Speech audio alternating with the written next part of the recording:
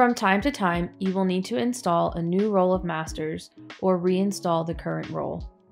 Even though our press has two color drums, we only use one roll of masters at a time.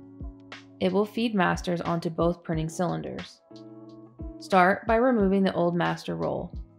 Open the master making unit on the right side of the press.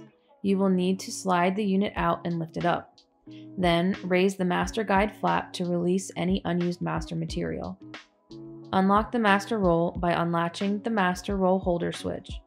Lift the old roll of masters up and slide it out to remove it.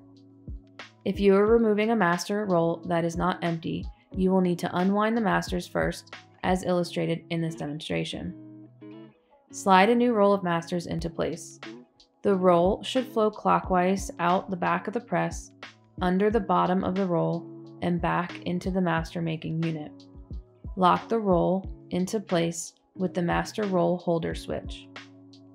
Slide your new master material into the slot under the master guide flap, and then lower the flap and close the master making unit.